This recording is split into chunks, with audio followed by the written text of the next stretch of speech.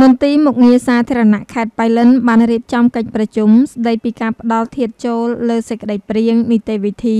នៃការត្រួតពិនិត្យលើការផ្លាស់ប្តូរស្ថានភាពរដ្ឋបាល និងគ្រួសាររបស់មន្ត្រីរាជការស៊ីវិលនៅថ្នាក់ក្រោមជាតិថ្ងៃទី13ខែកក្កដាឆ្នាំ2022មន្ទីរមុខងារសាធារណៈខេត្តប៉ៃលិនបានរៀបចំកិច្ចប្រជុំស្តីពីការផ្តល់ធាតុចូលលើសេចក្តីព្រាងនីតិវិធីនៃការត្រួតពិនិត្យលើការផ្លាស់ប្តូរស្ថានភាពរដ្ឋបាល និងគ្រួសាររបស់មន្ត្រីរាជការស៊ីវិលនៅថ្នាក់ក្រោមជាតិក្រោមអធិបតីភាពអាយុដំសសាមីឌី អនុរដ្ឋលេខាធិការនៃក្រសួងមុខងារសាធារណៈនិងលោកកូសុំប៊ុនសឿនអភិបាលរងខេត្តតំណាងដល់ខ្ពង់ខ្ពស់លោកជំទាវបានស្រីមុំអភិបាលខេត្តបៃលិនព្រមទាំងមានការចូលរួមពីសំណាក់លោកប្រធានអនុប្រធានមន្ទីរអង្គភាពលោកនាយកទីចាត់ការរដ្ឋបាលនិងលោកប្រធានអនុប្រធានការិយាល័យរដ្ឋបាលមន្ទីរវិស័យទាំងអស់ផងដែរ។ លោកកូសុំប៊ុនសឿត អភិបាលរងខេត្តតំណាងដល់ខ្ពង់ខ្ពស់ លោក ជំទាវ បានស្រីមុំ អភិបាលខេត្តបៃលិន បានមានប្រសាសន៍ថា ដើម្បីឆ្លើយតបទៅនឹងគោលនយោបាយរបស់រាជរដ្ឋាភិបាលក្នុងការកែតម្រង់រដ្ឋបាលសាធារណៈថ្នាក់ក្រោមជាតិឲ្យមានប្រសិទ្ធភាពខ្ពស់ទៅលើវិស័យមុខងារសាធារណៈ ដែលបាននឹងកំពុងអភិវឌ្ឍស្របតាមគោលនយោបាយរបស់រាជរដ្ឋាភិបាល ក្រោមការដឹកនាំប្រកបដោយគតិបណ្ឌិត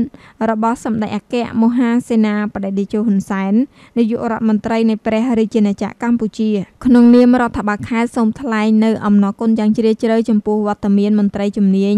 របស់ក្រសួងមុខងារសាធារណៈដែលបានចំណាយពេលវេលាដ៏មមាញឹកផ្ដល់កិត្តិយសយ៉ាងក្រៃលែងដល់រដ្ឋបាលខេត្តក្នុងកិច្ចប្រជុំស្ដីពីការផ្ដល់ធាតុចូលលើសេចក្តីព្រាងនីតិវិធីនៃការត្រួតពិនិត្យលើការផ្លាស់ប្ដូរស្ថានភាពរដ្ឋបាល និងគ្រួសាររបស់មន្ត្រីរាជការស៊ីវិលនៅថ្នាក់ក្រោមជាតិលោកអភិបាលរងខេត្តបានបញ្ជាក់ផងដែរថាសម្រាប់ការអនុវត្តនីតិវិធីនៃការផ្ដល់ទិដ្ឋាការសម្រាប់ការផ្លាស់ប្ដូរស្ថានភាពរដ្ឋបាល និងគ្រួសាររបស់មន្ត្រីរាជការស៊ីវិលនៅថ្នាក់ក្រោមជាតិដោយរៀបចំបំពេញឯកសារពាក់ព័ន្ធនិងឆ្លងយោបល់ពីមន្ទីរមុខងារសាធារណៈខេត្តបៃលិនពិនិត្យនិងបញ្ជូនទៅក្រសួងមុខងារសាធារណៈបន្តទៀតលើកិច្ចការមួយចំនួនដូចជា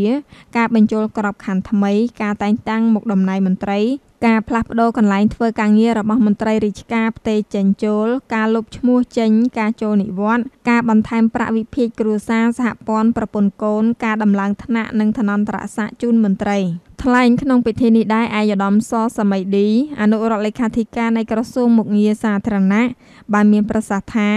ជាការពិតដោយស្ថិតក្រោមម្លប់សន្តិភាព ដែលកើតចេញពីនយោបាយឈ្នះឈ្នះរបស់សម្ដេចអគ្គមហាសេនាបតីតេជោហ៊ុនសែននាយករដ្ឋមន្ត្រីនៃព្រះរាជាណាចក្រកម្ពុជា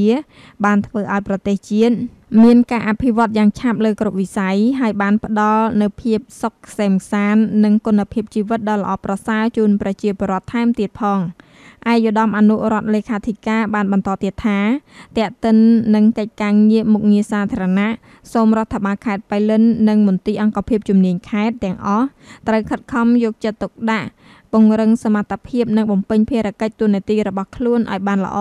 ហើយឆ្លៀតក្នុងឱកាសនេះឯកឧត្តមអនុរដ្ឋលេខាធិការក៏បានសំណូមពរឲ្យមន្ត្រីរាជការជំនាញរដ្ឋបាលខេត្តនិងមន្ទីរអង្គភាពពិនិត្យឲ្យបានច្បាស់លាស់អំពីនីតិវិធីនានា ដើម្បីយកទៅអនុវត្តឲ្យបានល្អប្រសើរបើតាមការបញ្ជាក់របស់លោកណាក់ណាងប្រធានមន្ទីរមុខងារសាធារណខេត្តបានឲ្យដឹងថា មន្ត្រីរាជការស៊ីវិលទូទាំងខេត្តបៃលិនមានចំនួន1729នាក់ស្រី688នាក់និងប្រភេទក្របខ័ណ្ឌក451នាក់ ស្រី118នាក់ ក្របខ័ណ្ឌខ726នាក់ ស្រី305នាក់ ក្របខ័ណ្ឌក552នាក់ ស្រី265នាក់ផងដែរ